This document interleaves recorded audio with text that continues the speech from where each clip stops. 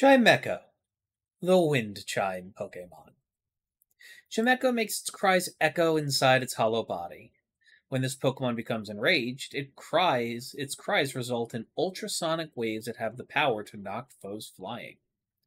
In high winds, Chimecho cries as it hangs from a tree branch or in the eaves of a building using the suction cup on its head.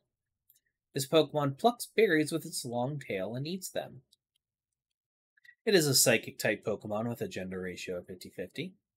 It has the ability, singular ability, Levitate, which prevents ground type moves from affecting it, as well as prevents the arena trap ability and no damage from spikes.